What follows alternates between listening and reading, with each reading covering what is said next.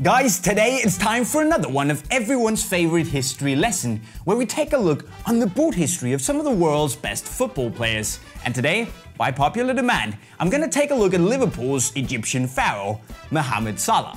Now, obviously, Salah has been killing it in the Premier League this year, but what has he actually won in his time as a professional footballer that's taken him pretty much all over Europe? Well, that's what we're gonna take a look at today as we start back in 2006 in his native Egypt.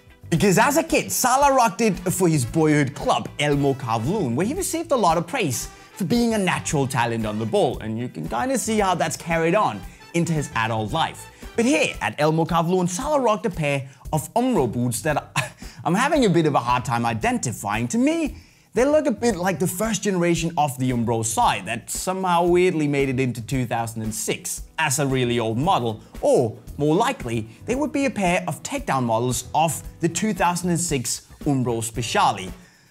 But again, it's hard to tell. All we can say is that at some point in his life, Salah wore a pair of Umbros. Then in 2010, Mohamed Salah turned pro for El Mokawloon, rocking the Nike Mercurial Vapor 6s. Wh what? Salah wore Vapors? Well, at this point in his life, in 2010, he absolutely did. And then he went into the Vapor 7s in 2011, where he played pretty well for the Egypt under 20s national team. And actually, he did so well that he was handed his first team debut in September that very same year. And he also played a pretty key role in qualifying for the Olympics with Egypt's under 23s national team. So Salah had a lot going on for him on the national team front in 2011. Then, after a pretty tumultuous end to the 11-12 season in Egypt after the tragic events at the Port Said Stadium disaster where a lot of people sadly lost their lives, Salah was back on the pitch while Egypt were playing a friendly against FC Basel. And here, he switched brands, rocking a pair of the brand new Adidas F50 Adizero miCoach. And apparently, Basel liked him so much that they asked him to stay for a full week after the friendly on a trial. And here, they apparently liked what they saw, so they signed him a couple of weeks after. Now that's a pretty good outcome of changing your boot brand, if you ask me. Now in 2013, Salah then switched up his footwear once again, jumping into the fourth generation of the F50 Adizero, which he, for the most part, wore in the leather variation. And this was actually also the boot he wore when he scored his first goal in the Europa League against Tottenham Hotspur, and actually also helped in taking FC Basel all the way to the semi-final, only for them to crash out, which kinda sucked. But then, thankfully for Basel and Mohamed Salah, they then won the Swiss Championship in that very same season, in 12-13.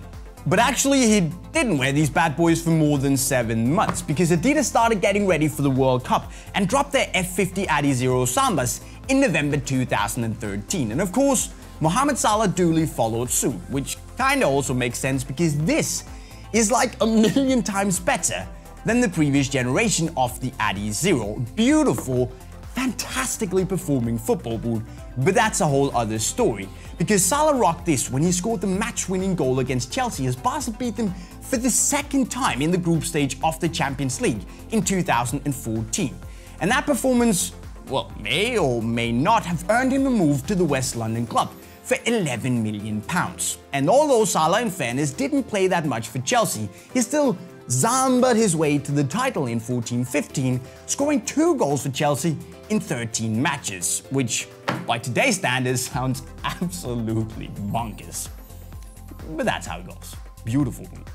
Then in January 2015, Salah laced up in the last F50 Adizero ever to be released by Adidas, which was made for the There Will Be Haters campaign.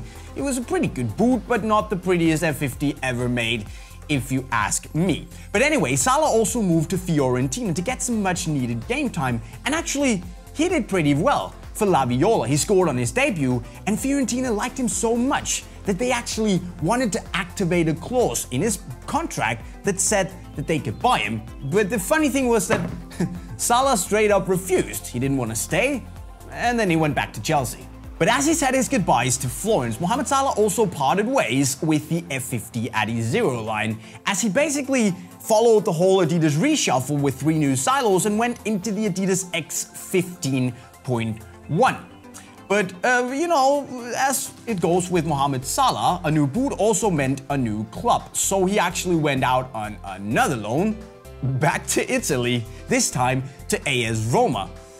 I mean, why he didn't want to stay in Florence on a full contract and instead went back to Roma on loan? I, I can't really work it out, but I mean, Salah probably had his reasons, but he killed it at AS Roma, becoming their top goal scorer, was awarded player of the season. And if Fiorentina weren't already mad at him, he made matters worse by 1. scoring against them, and then B. got sent off in the same match. So I don't think Salah is the most popular man in Florence these days. But the Romans, I think they like him. Then 2015 became 2016 and Salah celebrated another big career move with a new pair of football boots. The Adidas X16 Plus Pure Chaos entered the frame and Salah apparently had decided that now Italy was cool enough for him to want to stay on a permanent deal at AS Roma and he celebrated that permanent deal in his new boots by scoring a hat-trick in November in 2016 and backed 15 goals for the season in Rome and that didn't go unnoticed back in good old England. Then, in the summer of 2017, Liverpool apparently decided that Salah was ready to have another go at the Premier League, so they brought him in, which of course also meant another mandatory update to his footwear, this time with the Adidas X17 Plus Pure Speed that was more or less a facelift compared to the X16 Plus. And whether it was new boots or Salah just fitting in really well at Liverpool, he simply just started scoring goal after goal after goal. He just can't stop himself. And of course, we're talking 36 goals in 40 matches and counting. I mean, okay, he didn't do so well at Chelsea, but this guy is on fire. And even leading the line for Egypt, basically taking them to the World Cup, scoring the two decisive goals in the last qualifying match against Congo.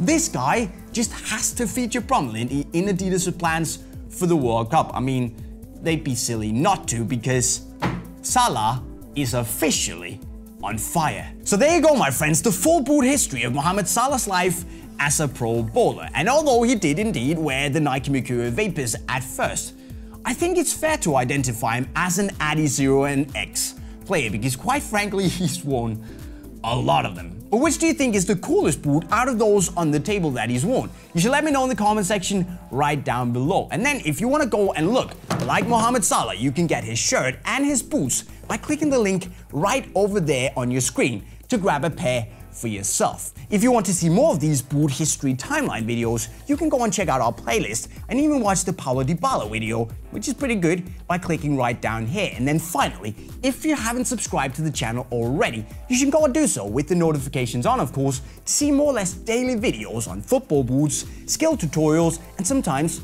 we even also talk to the pros. That's all happening right over here. And with that said, guys, I'm gonna see you next time. Signing off, cheerio.